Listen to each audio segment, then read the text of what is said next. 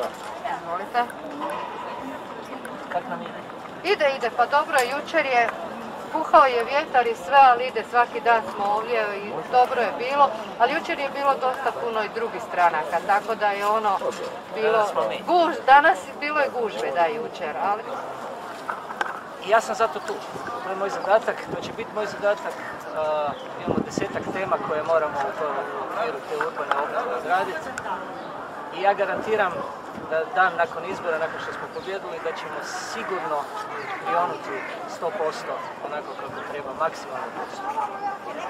To je moje, moj stav i moja pozicija u, u povijesno-umjetnički, znači svi elementi su proanalizirani i dana je jedna baza kako, naročito strukturni, dana je baza jedna kako nastaviti i kako krenuti zapravo ispravno u obnovu i razvoj, urbanu obnovu Donjeg. Vaš komentar ankete koje vam evo za sada ne prognoziraju baš, odnosno vaše komentare. Pa ja moram reći, e, mene interesira anketa 17. ujutro u 8 sati.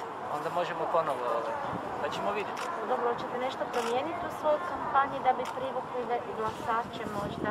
Ja mogu samo ono govoriti što je u mom djelokrugu i ja ću to ponavljati, ovaj, a to je da jednostavno moramo moći bolje pokrenuti i pokrenuti sve one projekte koji su, koji su nužni za to.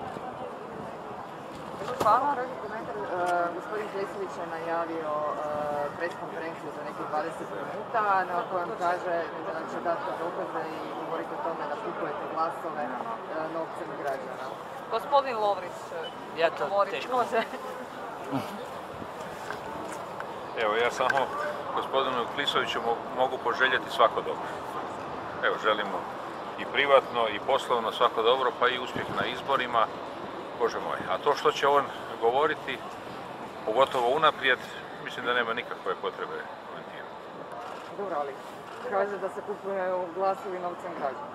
Pa rekao sam još jednom da mu zaista želim svako dobro, a o kupovini glasova možda gospodin Klisović nešto više zna. Možda je on nekad sudjelovao u tome, pa mu je to poznato, ali mi, mi ne možemo o tome govoriti. Hvala vam. Gospodin Lović, možeš evo, sutra se vraćaju osnovnoškolci u škole, je li se spremno? Rado. Zagrebačke su škole pripravne primiti sve svoje učenike i rado ih očekuju, a koliko vidim i učenici i roditelji raduju se povratku osnovaca u školske klupe. Što se tiče ove korona situacije, koja vas ne zabrinjava? Što se tiče korona si- situacije, ne postoji nitko na svijetu koga to ne zabrinjava. To je sasvim sigurno nešto o čemu vodimo brigu, međutim trenutna situacija kad je u pitanju zaraženost COVID-19 zagrebačkih učenika je izuzetno povoljna. Mi imamo negdje oko 170 zaraženih učenika trenutno od ukupno 100 tisuća.